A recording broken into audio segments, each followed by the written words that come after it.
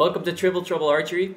We're at Mick's uh, Hairdresser's basement, and we're gonna answer some questions that you guys sent us on Facebook and Instagram.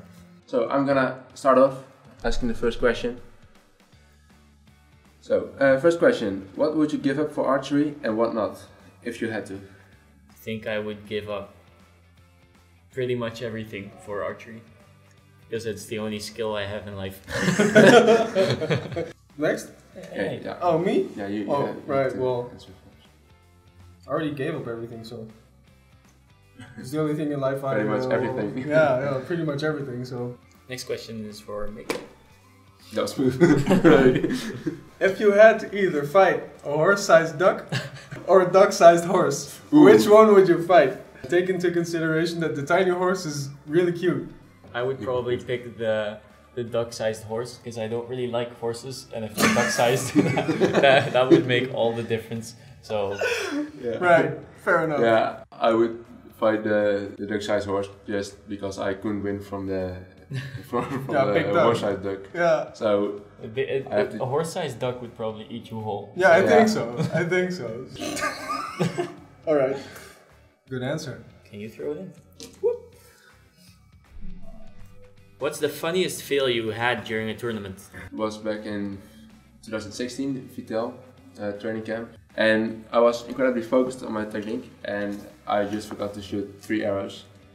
shot my uh, personal, just shot my personal best. You still shot a personal best. Yeah, and it's still his personal best. Funniest fail for me is, I guess, that I. Um, Came fourth in the low. the funniest fail, because that's not really funny, is Oh, yeah, um, is that I, I brought my spare tab, uh, or I, I put my tab in my hand luggage, so uh, so that if the baggage got lost, I still had my tab. And then I forgot to, to bring my tab to the field, so I, I had a spare tab somewhere, and then I, I assembled it from like parts that I borrowed from other people, and then I ended up shooting the um, the tab that I built during the official practice in the uh, European Championships, and I got third in it. So that's a That's fail pretty turn good. to win. Yeah, That's good. That's really good. Oh, that's All right. his biggest archery fail. This is my, my funniest fail yet. that's yeah. Next question. If you can switch from high level archery to practicing um, another sport at high level, which sport would it be? Badminton. Um, I, I think judo. but I think I would maybe go back to uh, soccer. Can we have another triple trouble member, Yeah. please? Alright. Next question. Would you shoot apples off of other people's heads? No. I was live after the Olympics. Pretty good, yeah. Ah, I have to say. very awesome. Yes. Um, I had a really long holiday and uh, I'm getting back at shooting now, but it's different. Like people that know me sometimes that I didn't expect them to know me, and for the rest, it's it's basically the same. I'm still just an archer. Um, how do you stay motivated in hard times? You you had, um, for instance, 2012 was Yes. a hard time for you. I switched trainers then, personal trainers, but that's something else. And listen to the people that were around me to motivate me and say, you know, you can do it. Which is, That's a good you know, one. the Just- pat on the shoulder is a stupid thing. Just surround you with people that Yeah. want to have the best or want to give you the best. Yeah, yeah. And That's I a think good- that's what's That's best happening now. You know, with uh, seven or eight guys of us in the team, I think you know we get the best out of each other. We motivate each other. I hope. and then oh, you have a good time and get better. Besides your girlfriend, who is the hottest female in archery? She's not in My archery. mom doesn't shoot. No. I would say there's a lot of pretty girls in archery, but um, we're not in a good position to, No. to tell you, and I uh, don't really know. he doesn't want to ruin his chances with the girl that he has in mind. How did you start archery? Zijn we, man. No. No. Wel, Fuck Yeah. you. wel, we gaan iedere keer zo. I didn't take one. No. right. How did you start archery? okay, doesn't matter. So, how did you start? I was brought to the club by my dad um, because he already did archery, and uh, that's basically it. Yeah, there's one really famous picture of you holding your Holding first bow. Yeah. Yeah, yeah. That's nice. We can edit that. We should. Yeah. Yeah, we can have it Yeah. somewhere here. No, Well, I don't know. I, I started archery because um, people at school, at elementary school, they told me I had a severe problem with concentrating. I don't know, I can't recall any six year old or seven year old that could focus really well in elementary school, but apparently it was so bad with me that they had to do something about it. So I just thought, well, archery might help because you need to focus and have good concentration for that. So. Did you think so, or did your archers think so, or your parents think so? No, I did. Okay. really? I didn't have any friends. I don't know. I just wanted to practice archery, and apparently it worked and got me some places. I started archery um, when I was 12 years old because of reading a book. It was called Ranger's Apprentice. Yeah, there was a boy who was uh, doing archery, and I was like, ah, I want to do the, the same. So I started archery, went to a local club, and then now we're here. Start from the bottom. Why do you love archery? I love the feeling of like having a really good shot and then finding yourself shooting a 10 and seeing the arrow fly into the 10 and then realizing that that was all you. So there's not like a team effort, but it's all you. That's what I like most about archery. I also just enjoy the environment. You know, traveling, getting in an airplane, and having a fun time. Archery. What? That Yeah, just- that- No, that's but it's entire- everything. Yeah, It's it's yeah. uh, maybe it's every, every sport or any sport, every but sport. it's So ar- you're- archery. So What's your worst result last season? Uh, not qualifying for the Olympics. is it the worst or the one that hurts the most? Because Yeah. if it's one that hurts the most, it's the fourth place at the Olympics. If it's the worst, I have no idea. Probably World Cup Antalya. Say. What hurts the most is the becoming 17th at the European Youth Championships, while I qualified 6th. The worst is, I think, my Lowlands uh, shootout season. Ah, this one is a good one for you, man. Yes? Can you guess it? No. Okay. What is a good way to stay fit for archery? There's our expert right now. I know a good way to get fit for archery after you've eaten too much food.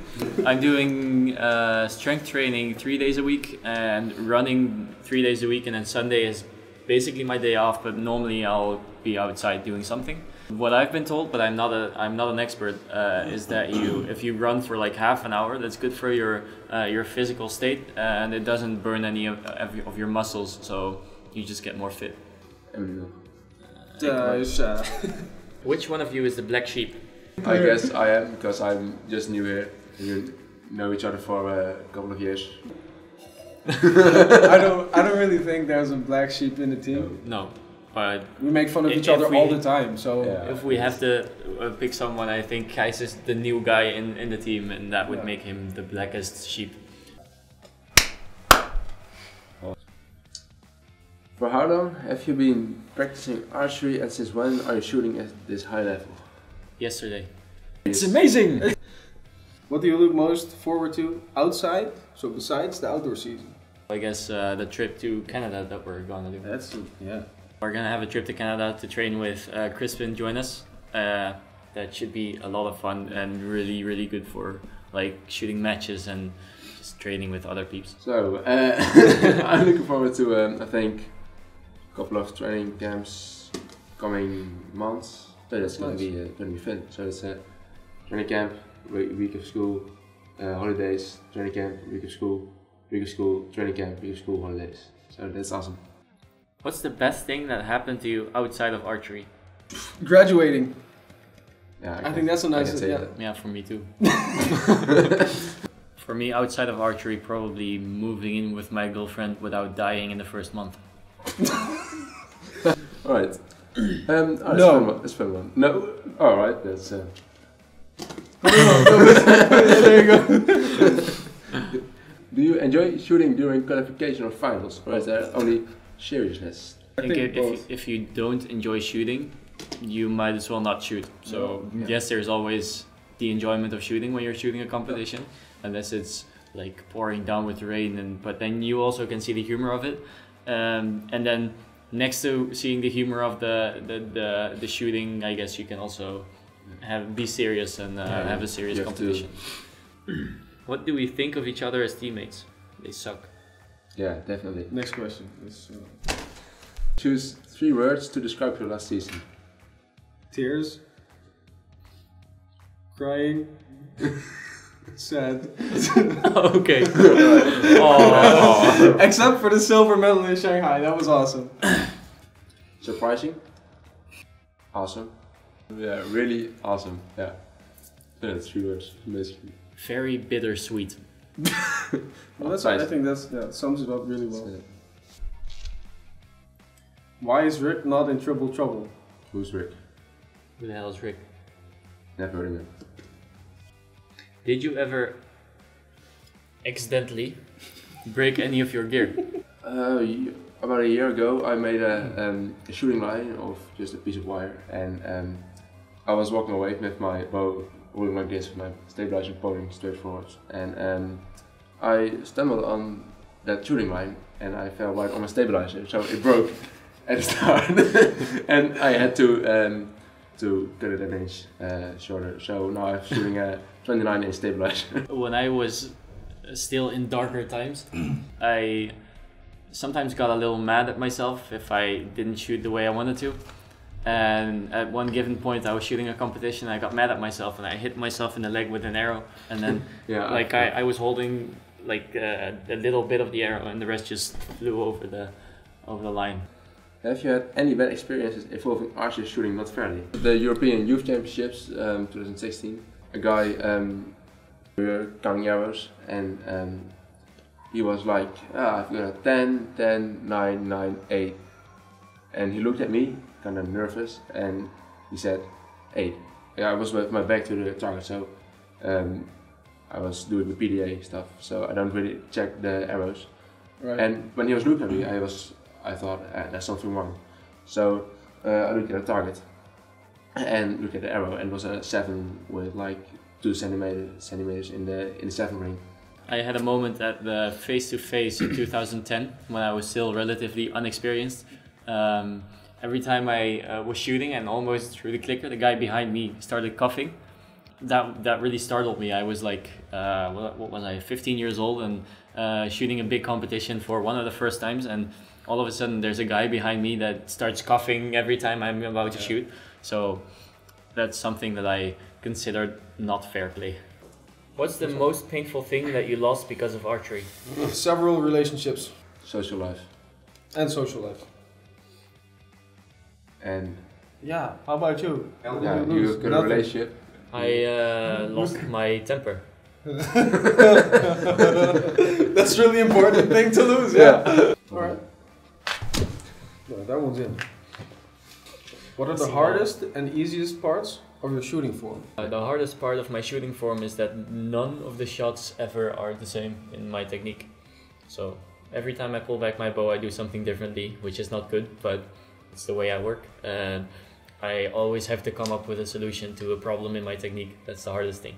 The easiest thing is that I don't have to think about the technique all the time because I can just do whatever I want. Um, the hardest part is I think my tempo to shoot fast. I don't force my Pace. shots, and Pace, but yeah. the easiest is um, that I almost always make strong shots. I always finish them strong, so that's a good thing. I think um, for me it's my release. Everybody knows that my release is, a, is a bit Kind of it could be Clunky. clunky, weak, or whatever.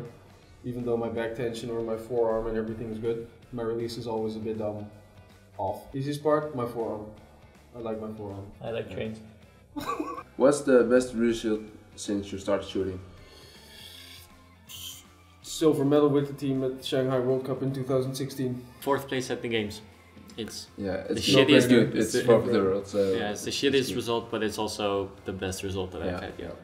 I don't know if it's becoming two times in a row uh, Dutch a champion or yeah. I think I'm really um, happy about my qualification in Romania at the European Youth Championships. So you can choose. So I can choose. Yeah. Yeah. What are your goals for the upcoming years? Might be a little bit of a no-brainer for some people, but you know, just I want to qualify for the Olympics in, in three, Yeah. almost uh, four years, and I want to qualify for the World Championships this year. Yeah, okay. and in uh, Den Bosch. Yeah, 2019. 2019, the World Championships in the home country. Yeah. That's Yeah, nice. and I want to be there and I want to perform there. Um, Make a good show. maybe, but I just Yeah. want to shoot well.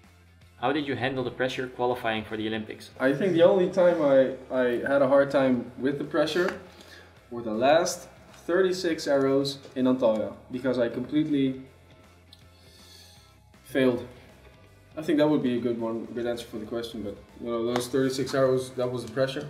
For me, the qualifying part was the, the the pressure was the highest when we still had to qualify for the Olympics in the first place at the World Championships. Uh, after that was done, I didn't really have any pressure anymore because at the national level, I didn't really expect someone to kick me out of the team or something. So it was just uh, um, the working to the World Championships in Copenhagen that was a lot of uh, pressure on the shoulders, and after that was gone, it was fine. Um, what's one mistake you've made in your life, and what did you do to make it right? No, I don't really know. I, I've made a lot of mistakes and not specifically a really big one. In the, in the long run, for me, a mistake that I made in my life is to quit school. But then again, that's also uh, for like my archery. That's probably been the best decision I ever made. Yeah. So I think it's a mistake in the long run, and I might uh, suffer the consequences later. But it's it's fine for It's now. good choice now. I probably made some mistakes along the way. I'm still here, so Yeah, still alive. I'm still alive. what do you like the most about an international tournament? Seeing all of the people again that I haven't seen in the period between the international tournaments. I like hanging around with uh, international people. I like the vibe. I like the people. I like trains. Standing on the line in God knows where, and Do what you have to do, yeah. it's just the being with people you don't get to see often. And shut up. the last question, the Have longest one. Have you ever been, as a pro, into a situation when an amateur came by, didn't recognize you, and tried to tell you what you can do better with your shooting? Um, recently, when I went to the club, there was this guy didn't know me. I can't blame him. So I was still shooting over there, and he starts about my release. So Yeah. yeah, maybe you can do this or do Yeah. that. But you know, you can't blame him. I mean, he tries the best. I like I like trains. Going to the the carnival, and then just Ah. go to the like the shooting thing Yes. that they have, Yes. and then pick up a bow and shoot all of the balloons, and then uh, go home with like a teddy bear that's bigger than your own body. And then they give you tips about "Oh, you have to hold the bow like this, or you have to uh, put your fingers there, and then I just shoot all of the balloons and go away, and that's something I really enjoy doing. And then don't tell them what you do for Yeah. a living. Just no, Go. don't say anything, just go. I think yeah, at my club uh, there are sometimes new people and they start talking to you and sometimes argue with you about uh, shooting. I kind of like that that you can just talk with people, yeah. not with the you know people looking up to you, and that's something I really like. In the end, we're all just Yeah, the same. You know, we stand on the same Yeah, line. yes, same same same rule. so I think that pretty much sums it up for now. So thank you for watching and hope to see you next time. Subscribe, like, Triple trouble archery. yeah, what he says. Exactly. Thank you and goodbye.